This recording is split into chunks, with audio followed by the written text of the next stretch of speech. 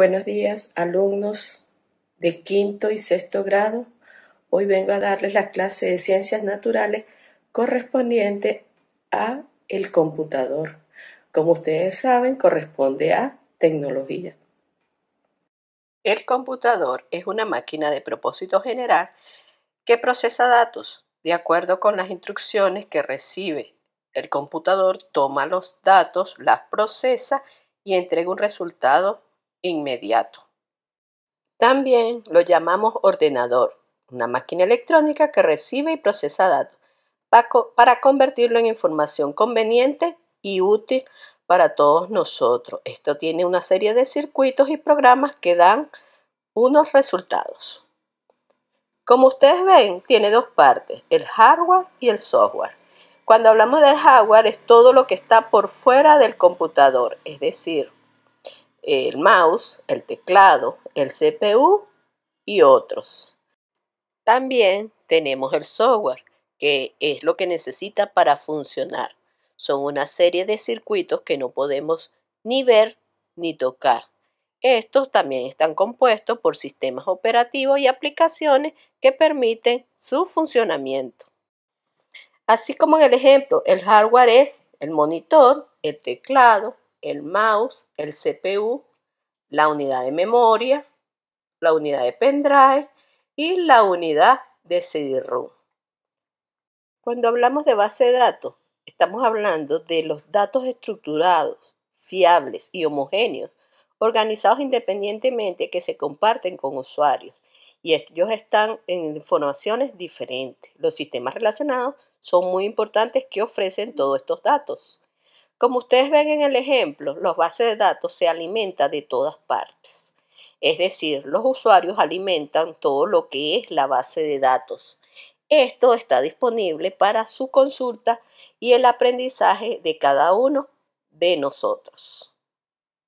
Asimismo, están los lenguajes de programación.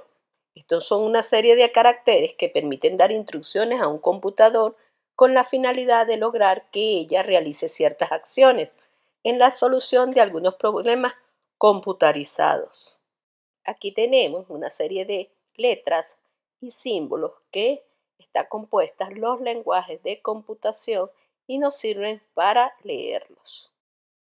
Fíjense, es un instrumento que podemos utilizar y sacarle buen provecho. La utilidad que podemos tener es el Internet.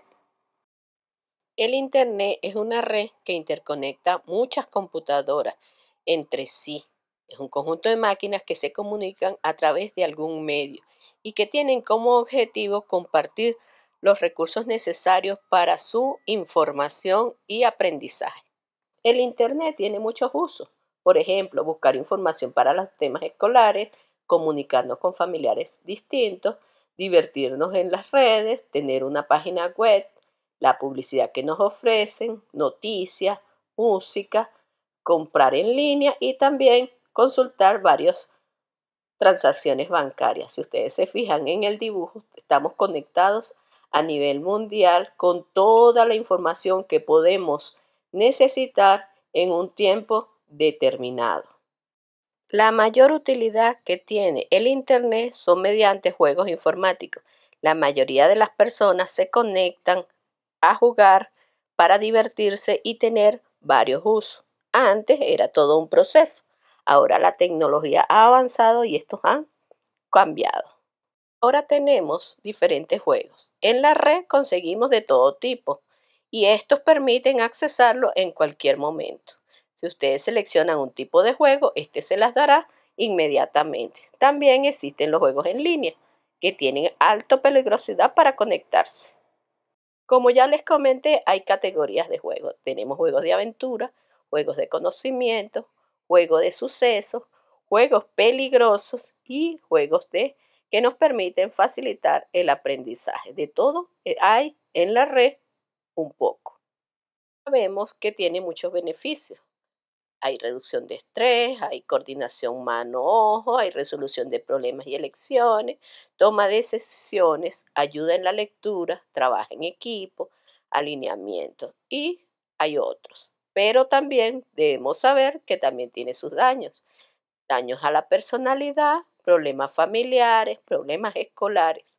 También hay problemas cognitivos que tienen que ver con la atención y la manipulación de estos. Hay que estar pendiente de los problemas que ocasiona.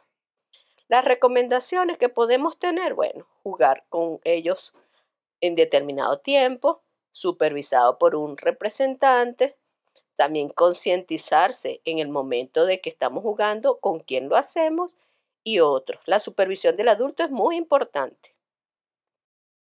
Con esto concluyo la clase de ciencias y tecnología correspondiente al computador. Espero que se les sea de gran provecho.